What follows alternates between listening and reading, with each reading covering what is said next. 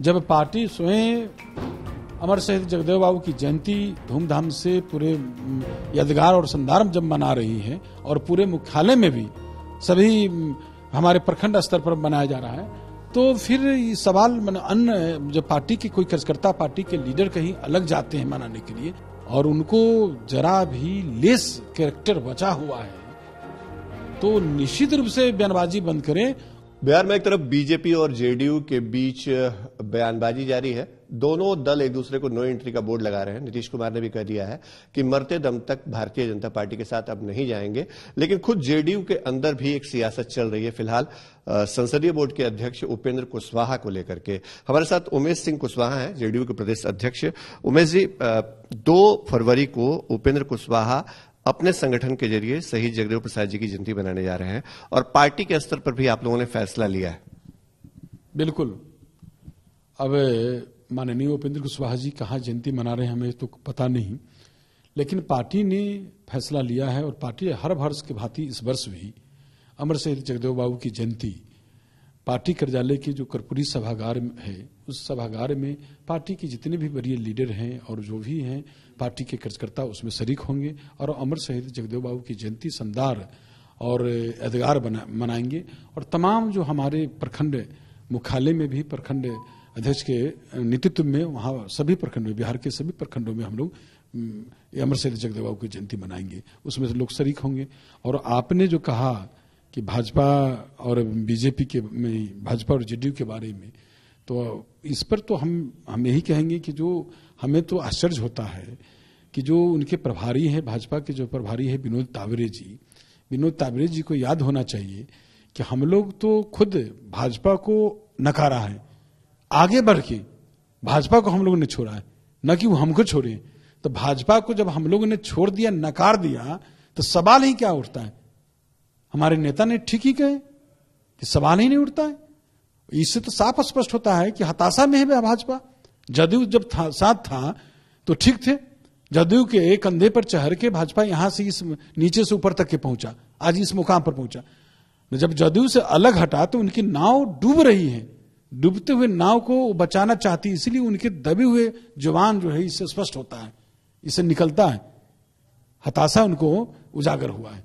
तो बिल्कुल हम लोग किसी भी कीमत में भाजपा के साथ नहीं हम लोग ने नकार दिया तो नकार दिया उपेंद्र कुशवाहा जी के राजनीतिक भविष्य को लेकर भी सवाल हो, हो रहे हैं क्योंकि जो दो फरवरी का आयोजन है एक तरफ़ पार्टी के स्तर पे एक तरफ़ उनके स्तर पे शक्ति प्रदर्शन भी इसको माना जा सकता है क्या? अरे शक्ति प्रदर्शन कोई नहीं कुछ नहीं है। आप जानते हैं कि हमारे नेता ही जो समाजवादी विचारधारा की चाहे जो भी हमारे लोग हैं महापुरुष हैं उन सभी महापुरुषों को और उस उनकी संस्कारों को उनके आदर्शों को जीवित रखने वाले पार्टी एक ही जनता दल यूनाइटेड पार्टी है जो लोहिया जयप्रकाश अंबेडकर कर्पूरी ठाकुर जगदेव बाबू की जयंती हम लोग मनाते आ रहे हैं। और ये तो हर वर्ष हम लोग मनाते हैं इस वर्ष भी हम लोग मना रहे हैं और संदर्भ मना रहे हैं। तो उपेंद्र कुशवाहा जी को बुला रहे हैं इसमें आप लोग संसदीय बोर्ड के अध्यक्ष? हम लोग तो पार्टी के सभी कार्यकर्ता को सभी सदस्य को बोल रहे हैं सभी लोग आप शरीक हो। पार्टी के द्वारा जब आयोजित कार्यक्रम है तो पार्टी के सभी कार्यकर्ता इसमें सम्मिलित हो। अगर वो नहीं आते हैं दूसरे आयोजन में जाते हैं तो क्या पार्टी उनके खिलाफ एक्शन भी ले सकती है? ये भी संभावना उम्मीद है अब अब उस पर तो हमारे नेता ही बहुत कुछ कह दिए। हमारे जो आदमी के बारे में जो माननीय के बारे में कुछ कहने की ज़रूरत नहीं। कहना हम इसलिए नहीं चाहते हैं कि जब माननीय मुख्यमंत्री जी हमारे सर्वमान पार्टी के नेता ही जब बता दिए हैं तो उन वो जब हमारे नेता पर ही इस तरह की टिप्पणी करते हैं, हमारे राष्ट्रीय अध्यक्ष जी पर ही जब इस तरह की टिप्पणी करते हैं तो उन पर क्या है वो तो टिप्पणी करने से पहले जो हमारे नेता ने उनको जो देने, इतना सम्मान देने का काम किया। जब शुरू में सर्वप्रथम जब विधानसभा उनको पहुँचाने का काम किए 2000 में, और उसके बाद उनको विरोधी दल नेता बनाया गया, जबकि उस, काफ़ी जूनियर थे उसमें, जितने भी विधायक जीत के आए थे उसमें, लेकिन हमारे नेता का दिन था जो ये विरोधी दल नेता बने। हमारे नेता का दिन है, जो उपेंद्र प्रसाद सिंह थे, वहाँ से उपेंद्र कुशवाहा बने। राज्यसभा में अब जब वो 2005 में जब चुनाव हारे, उसके बाद वो कहाँ चले गए? कई कई पार्टी में उन्होंने गया। उसके बाद उनको फिर ला के जब बेरोजगार थे तो उनको ला के फिर यहाँ राज्यसभा भेजा गया। फिर राज्यसभा बनते, फिर वो अपना रंगत में आ गए। तो पार्टी और उसके बाद फिर निकल गए। फिर उसके बाद हमारे यहाँ विधान परिषद में भेजा गया। आज संसदीय बोर्ड के, संसदीय बोर्ड के उनको अध्यक्ष बनाया गया। तो हमारे नेता ने इतना सम्मान देने का काम किया, जो इतना सम्मान दिया, उन पर इस तरह की टिप्पणी हमें तो बहुत आश्चर्य होता है। मेरा सवाल इसलिए था प्रदेश अध्यक्ष जी कि आप संविधान को जानते हैं पार्टी के आप प्रदेश अध्यक्ष हैं। क्या पार्टी के कार्यक्रम को छोड़ के किसी दूसरे कार्यक्रम में शिरकत करना पार्टी विरोधी गतिविधि में माना जाता है या नहीं माना जाता है? और क्या उस पर नज़र रहेगी आप लोगों की दो फरवरी को? बिल्कुल। ये निश्चित रूप से पार्टी विरोधी कार्यक्रम होगा।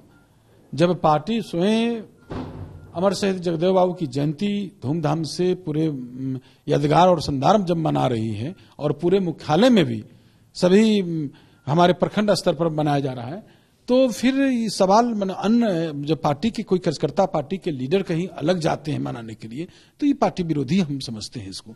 मैंने पार्टी से अलग हट के हम लोग उसको दूसरे रूप में लेंगे कुशवाहा जी को कोई मैसेज देना चाहते हैं? क्योंकि वो लगातार मीडिया के ज़रिए ही मैसेज कोई मैसेज देना नहीं चाहते इस लोगों को। उनको जो खुद सोचे कि उनको क्या करना चाहिए।